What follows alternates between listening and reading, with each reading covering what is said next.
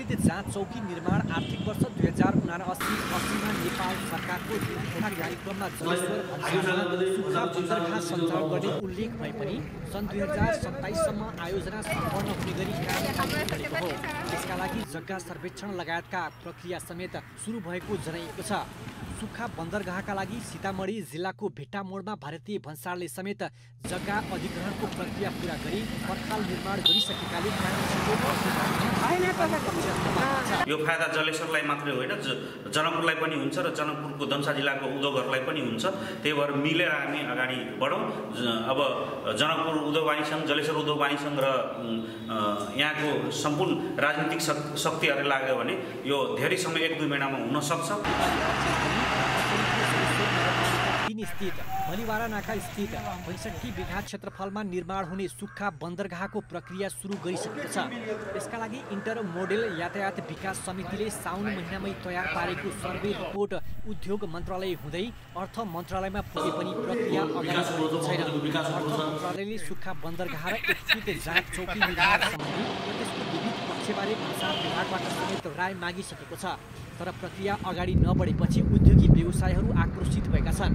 यहाँको ड्राइपोर्टलाई स्थापना गर्नको लागि या सुरुवात गर्नको लागि यसको काम क्रियालाई अगाडि बढाउनको लागि कहाँ कहाँ अगाडि बढ्नुपर्छ त्यसको लागि आजैदेखि जलेश्वर उद्योग अगाडि बढ्दैछ। हामी अगाडि बढेर यहाँको मेयर साहबलाई यहाँको संसदलाई लगायत यी इलाकाका प्रमुख नेताहरूलाई लिएर हामी काठमाडौँमा कहाँ कहाँ लग्ने गर्नुपर्ने कुन कुन मन्त्रालय जानुपर्ने अब हामी आजदेखि सुरु गर्छौँ। र त्यसमा कुनै पनि किसिमको अप्ठ्यारो भयो भने जलेश्वर उद्योग यसको लागि आन्दोलनमा पनि अगाडि जान सक्ने म कुरो जानकारी गराउन चाहन्छु। हाल पर्साको वीरगञ्जमा मात्र सुक्खा बन्दरगाह भएकाले असहज र झन्झटिलो भएको जनाउँदै व्यापारीले नाकामा सुक्खा बन्दरगाह थप्न आग्रह गरेका थिए। जलेश्वर भन्सार महोत्तरी र जनकपुरको प्रमुख नाका समेत भएकाले व्यापारीले तेस्रो मुलुकसँगको व्यापार पनि यसै भन्सारबाट हुनुपर्ने माग गर्दै आएका छन्। सरकारको रवैयाका कारण हालसम्म सुक्खा बन्दरगाहका लागि जग्गा अधिग्रहण प्रक्रिया सुरु भएको छैन। एकीकृत सुरक्षा पोस्टमा नेपाल भारतका सुरक्षाकर्मीले संयुक्त जाँच गर्ने गरेका छन्।